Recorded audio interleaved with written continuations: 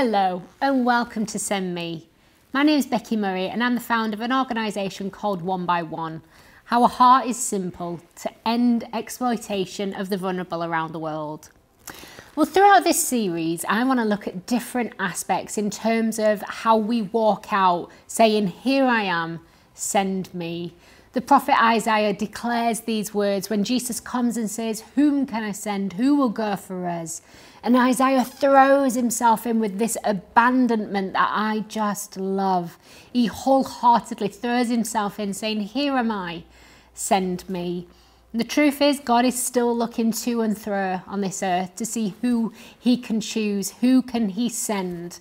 And he's looking for people who will follow him wholeheartedly, people who are completely in love with Jesus and want to be his hands and feet on the world today. And that takes on many different aspects. For some, that looks like world missions, going to different parts of the world and working in remote different regions. For you, it may be working in the business place, in the marketplace, in politics, in whatever way it is that God's got a plan and a purpose for your life. You know, I want to speak to you who raise your children.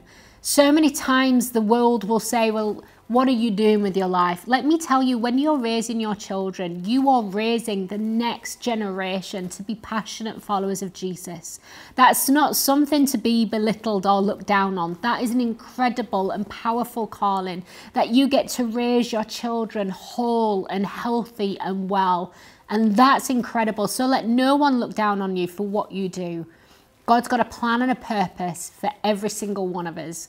The challenge is, will we respond like Isaiah, saying, Here I am, send me? Well, today I want to focus on a message that I've called, Is the Price Right? Several years ago, my sister was actually on a TV show called The Price is Right. And this was an old show that aired both across America and England. And I think it started in the 1980s. And it's where contestants come on, and there's normally four contestants on each round. And they'll be shown different objects, different articles, and they've got to guess the value of those articles. And the person who gets closest to the retail value actually wins that product. Well, my sister was so excited because back in the early 2000s, we went to go and watch the show. We were just going to be part of the audience. And sure enough, my sister was called on to be one of the contestants. So that's her claim to fame that she was on The Price is Right. If I remember rightly, she didn't actually win anything, which was quite tragic. Um, but some people went on to win incredible things from cruises around the world or cars even, right down to a simple kettle or teapot. Um, but contestants had to guess the value of an item. Well, many times contestants were way off the mark. They either really overpriced it or they really undervalued it. And the truth is, sometimes we can do the same in our lives too. We can overestimate certain parts of our life and we put so much attention onto those areas whilst other areas we don't see as quite so valuable and so we neglect those areas. Sometimes we get it right, other times we may get it wrong. And so I want today to look at a person in the Old Testament who really got it wrong. They undervalued something that was incredibly precious and they sold out for a very cheap price. And in doing so, they missed something incredible for not just them, but their whole family heritage line. And I want to share this with you because I want us to focus on what's eternal in our lives so that we won't sell out and get the price wrong. So I want to look with you at the life of Esau.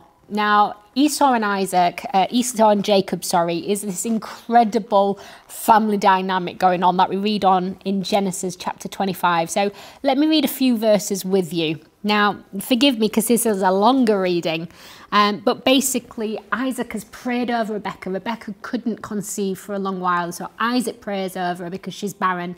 And finally, she begins to conceive and she has twins inside her. But throughout her pregnancy, she can feel the boys wrestling within her. And so she goes to the Lord to see what is going on? What's happening inside my womb? What's going on with these children? So Isaiah, uh, Genesis, sorry, chapter 25, and I'm going to pick it up from verse 23. And the Lord said to her, Two nations are in your womb Two peoples shall be separated from your body. One people will be stronger than the other, and the older shall serve the younger.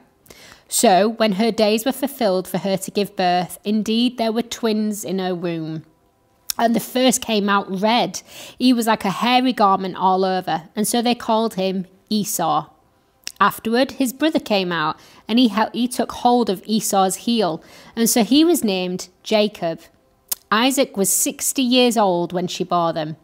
So the boys grew, and Esau was a skilful hunterman, a man of the field, but Jacob was a mild man, dwelling in the tents.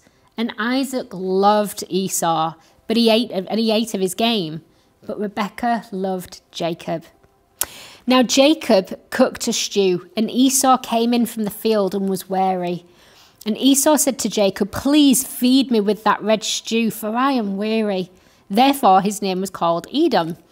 But Jacob said, Sell me your birthright as of this day. And Esau said, Look, I'm about to die. What is this birthright to me? Then Jacob said, Swear to me as of this day. And so he swore to him and sold his birthright to Jacob. And then Jacob gave Esau bread and stew, uh, the stew of lentils. He ate it and drank, arose and went his way. Therefore Esau despised his birthright. This is an incredible scripture where someone sells out an incredible birthright for a bowl of stew. Talk about not getting the price right. So Esau comes along and he's hungry, he's been working out in the field, and he's got this incredible birthright. Now, a birthright wasn't just about in terms of inheriting physical products, it's not just about getting an extra portion of land or gaining more cattle, as much as that was part of the deal of being the firstborn, as it were. But a birthright is an incredible honour. You see, God is a God of families. God is a God of generations of families. He's the God of Abraham, Isaac, and by tradition, it would have then said Esau. But because of this simple moment of selling out his birthright for a bowl of stew, for the whole rest of history, it becomes the God of Abraham, Isaac, and Jacob. See, Esau couldn't quite get how valuable this birthright was, and so he sold it out simply for a bowl of stew. What a tragic moment. He was so focused on the here and now that he couldn't see the value of this in terms of eternity. You see, Jesus was going to come through this line. Jesus was coming through this next descendant. And so instead of being an ancestor of Esau, he was an ancestor of Jacob because of a tragic moment where he sold out something incredibly precious because he couldn't quite de determine its value. And so Esau sells out for a very cheap price. Now, Jacob in all this is not innocent. Now, you carry on reading, and gosh, what family dynamics they go on to have. So, years later on, as Isaac's about to die, there comes the incredible moment of the passing on of a blessing to the next generation. And Isaac, by this point, is almost blind. His eyes are, are totally failing him. And it comes to his last few days. And so, Rebecca hears him having a conversation with his son, who he sends out to go get the, an incredible game for him to eat. And so Esau goes out to, to go and catch this animal for his father to eat. Rebecca overhears this, and so she says to Jacob, who is her favourite child, Okay, you need to cook your dad's favourite meal, then go put a hairy garment on so that you feel like Esau, and then come in and serve it to your dad so that he will give you the blessing. So Jacob, who's already stole the birthright at this point, then goes on and does as his mum suggests. He cooks this beautiful meal, takes it into Isaac. He's covered himself so that he feels like Esau. And he goes in and gives the meal to Isaac. And Isaac recognizes that the voice is different, that it's not the voice of Esau. And so he says, Come, come close. And he suddenly feels him and realizes, Oh, this must be Esau. It feels like Esau. I can feel the hair of Esau. And Jacob tricks Isaac into giving him the blessing. And so Esau comes back in having caught the game and he cooks it all up, he prepares it all. He comes in to give it to his father. Jacob's literally just walked out of the room as he walks in with it and he says, Okay, dad, give me the blessing. And Isaac says, Who is this? I've, I've just given the blessing to my firstborn. And suddenly Esau realizes that not only did he sell out his birthright, but he's now being deceived out of the blessing of his father too. This incredible crushing moment for him. And you thought your family dynamics were interesting. The family dynamics in this situation, oh my goodness. If God can come through for them, guess what? He can come through for you, no matter what chaos is going on in your family right now. And so Esau and I and Jacob have this wrestling that's gone on from within the womb and continues long after. But what I want to focus on is how Esau sold out. You see, we're going to go through moments in our lives where we have decisions. We can either make compromises or we can stand firm on what it is we believe God's got for us. And sometimes the compromises may be tempting. It may be tempting to sell out certain aspects of your life or of your character, even in order to gain something. Let me tell you, in the light of eternity, it's not worth selling out. And so I want to look on what Esau did wrong in order that we can learn from it and not make the same mistakes in our lives. So, firstly, Esau is fixed on immediate gratification. You see, he turns to his brother, he walks in, he's been out hunting for several hours, he walks in and he is hungry. And he walks in and he smells this beautiful lentil stew cooking.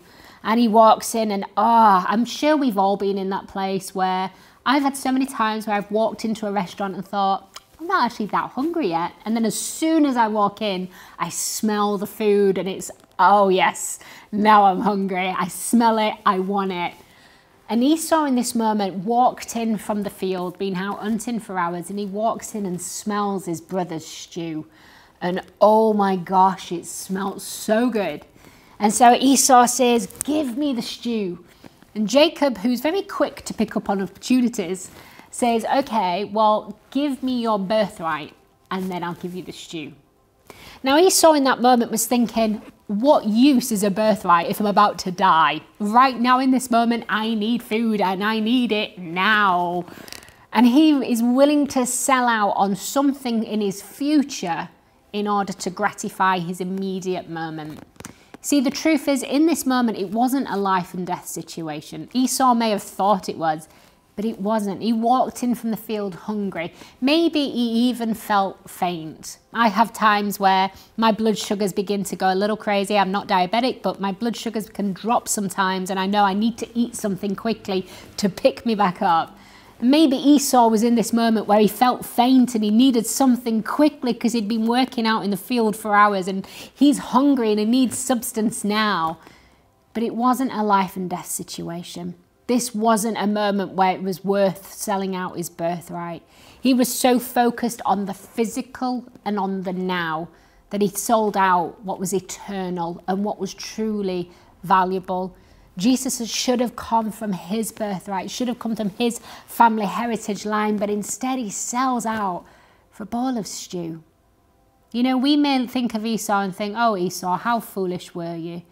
But when you really consider how many times have we been tempted by moments, maybe you've had a job offer and it comes with a better wage packet and it comes with all these perks and it's so tempting to go for that job offer because it looks better in the here and the now. But in the long term, what it's really going to do is rob you from hours of watching your family grow up. It's going to take you away from your family home for years to come. What's really worth investing your time and your life into don't sell out like Esau did. Don't make a compromise on something that is so valuable. Don't become so fixated on immediate gratification that we miss what has an eternal value in our life. You see, Esau traded the eternal for the temporal, he traded the spiritual for the physical, and he traded the unseen for the seen. Don't fall into that same pitfall. So, firstly, we see from Esau he was fixed on immediate gratification. The second thing was that he was so fixated on the physical, he missed the spiritual. You see, we carry on reading in scripture that Esau went on to become an incredibly wealthy person.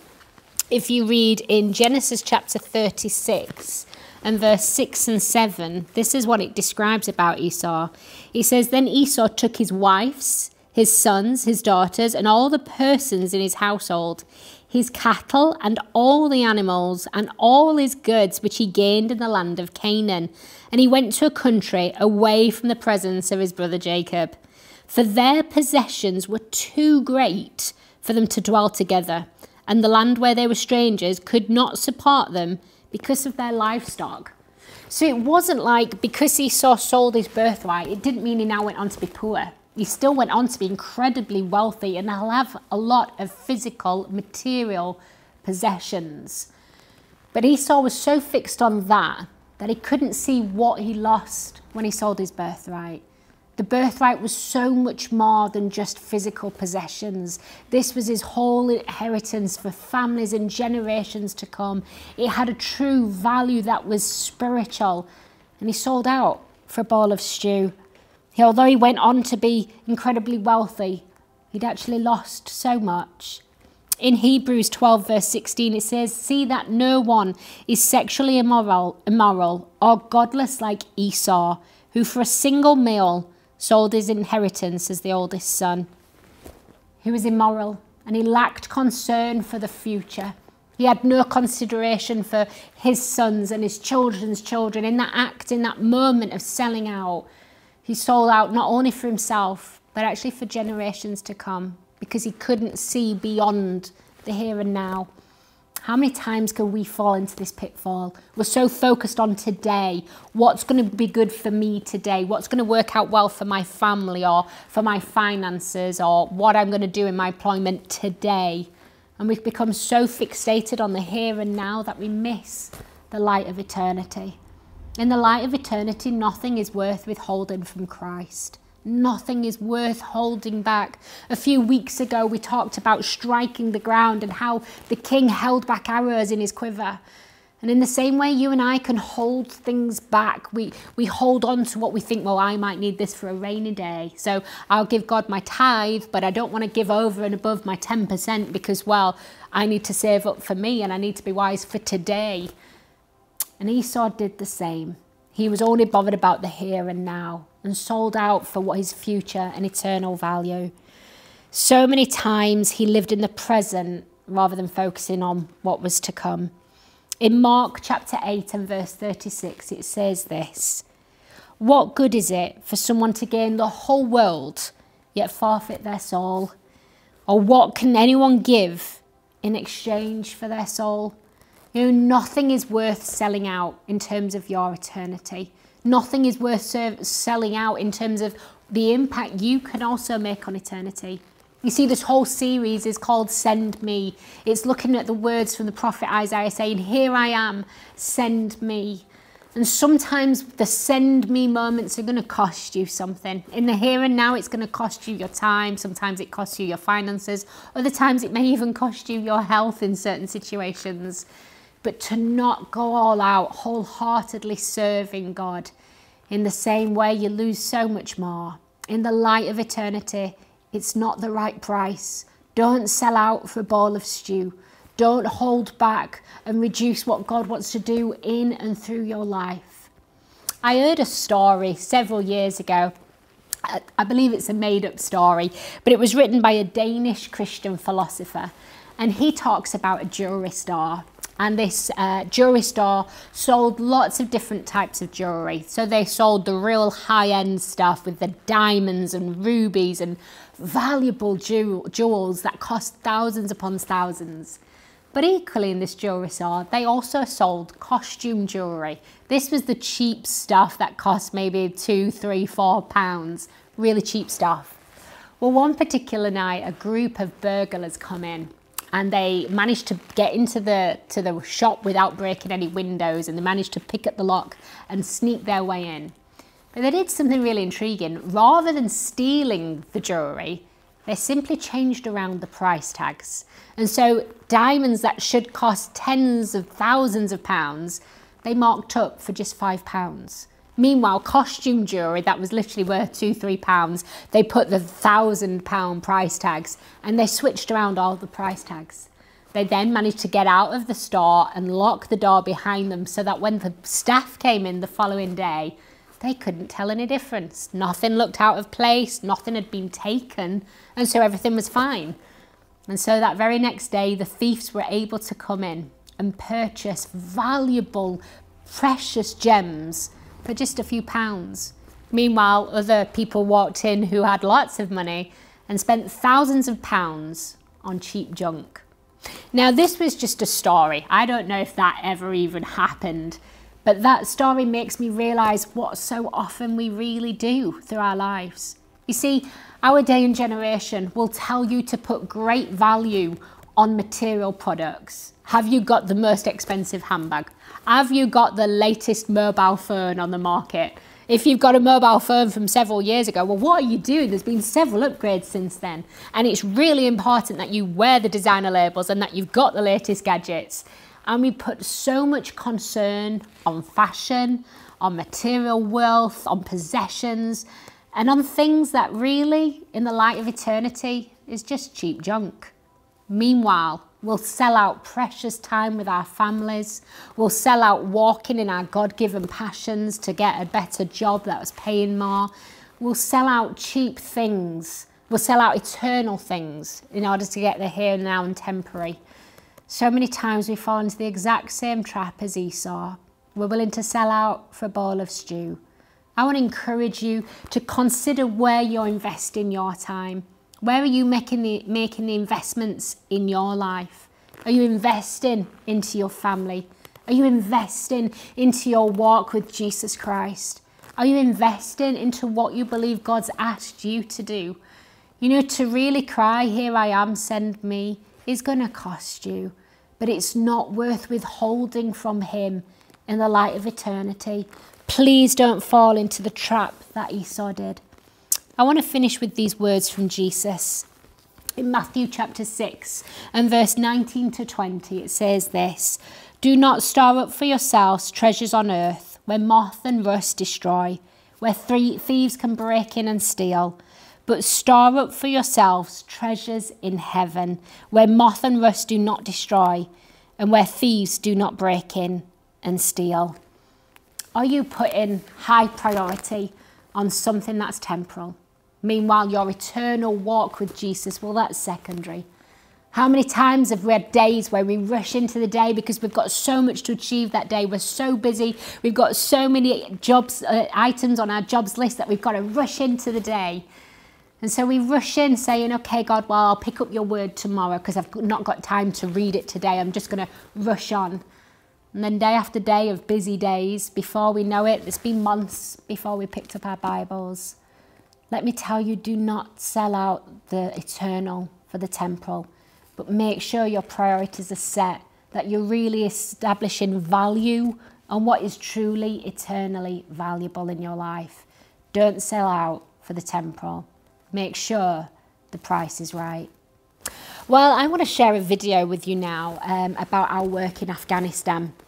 So throughout the years, one by one, has been working with people who are vulnerable around the world.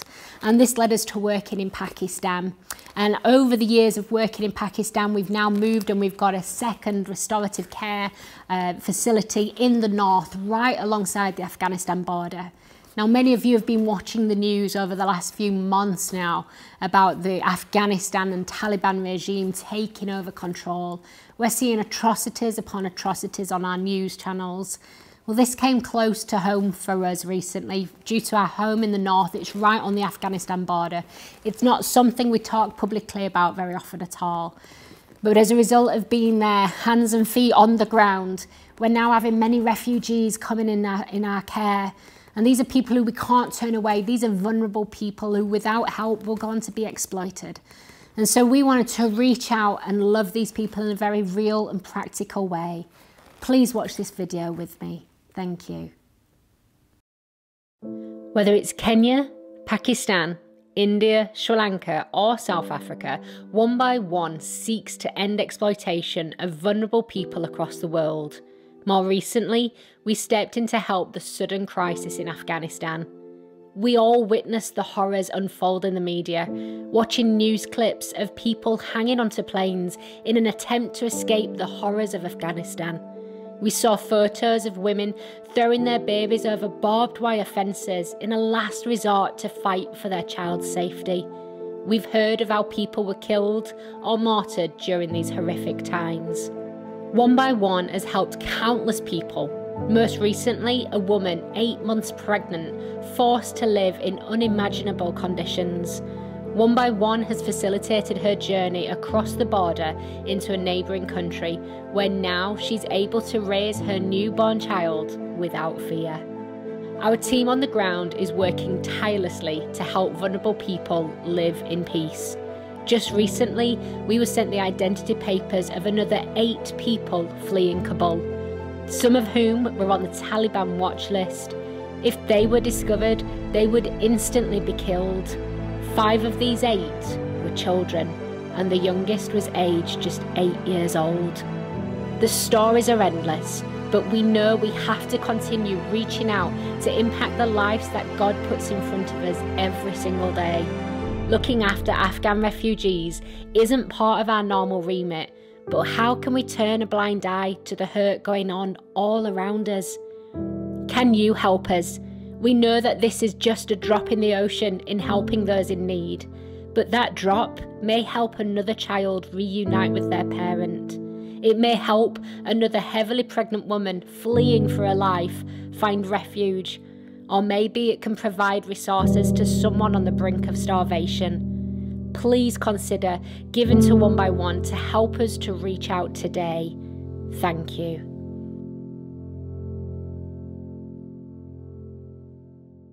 If you'd like more information about the work we do, whether it's the work out in Afghanistan helping refugees, or whether it's any of our work around the world, then please go to the website onebyone.net we would love to have you involved with us. You know, we need an army of people to work alongside us to really reach out to the vulnerable in order to put an end to exploitation. You know, sometimes it just takes all hands on deck, people working together, the army of God working together in order to see life set free. If you're able to help us, maybe that looks like sponsoring a child. Maybe that looks like coming out on the mission field with us. Maybe it looks like going to the website, seeing what we're doing, and then taking it to the Father in prayer. We need you alongside us. So please make sure you visit onebyone.net today. Well, it's been an honour to share with you. Please remember, in and through your life, we serve an eternal purpose in and through our lives. If we're really to be like the prophet Isaiah saying, Here I am, send me, then it's going to take a wholehearted, determined follower of Jesus Christ that we won't sell out. So many times the value of life determined by the world is put on fame or beauty or possessions. In reality, that's all cheap junk in comparison to the eternal value that God has got upon your life and what He wants to do in and through your life. A few years ago, I wrote a book called Embrace the Journey, and it shares lots of different stories of going around the world, moments where we had to make decisions, and it was a case of do we go all out or do we hold back? Because certain decisions were harder. Well, if you want to read what happened, then please grab a hold of the copy of that book today, where you can see how God maneuvered in so many different ways around the world over the years. And I pray that that will inspire and challenge you to still walk out in your God given calling as well. Well, as always, I pray you'll join with me again next week when I'm so excited to share what God's put on my heart for you. I'll see you then.